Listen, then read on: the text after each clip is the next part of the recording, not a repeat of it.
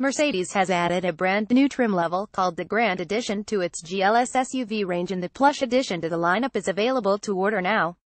The GLS Grand Edition will hit the showrooms across Europe in March 2018 with a UK on sale date to be confirmed.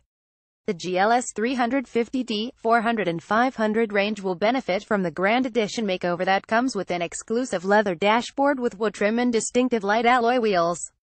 Unusually, Grand Edition buyers will have the option of choosing an interior or exterior package, or both best SUVs on sale 2017 for an extra £5,320. Customers can add the interior package to their GLS Grand Edition. Included in the price is an exclusive Nappa leather interior in a porcelain espresso brown color combination. The dashboard is also quilted in dark brown leather with the cream seats being diamond quilted.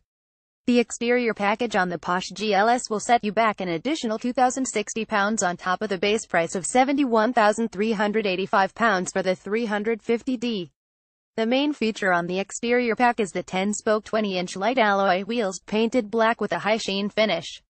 Next to the front wheel arches are Grand Edition badges to help the Special Edition GLS stand out that bit further. This could potentially be the final edition of the current generation GLS.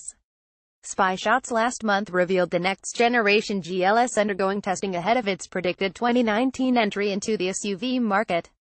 The 2019 GLS joins a long and growing line of Mercedes-Benz SUVs such as the GLA, GLE and the G-Class.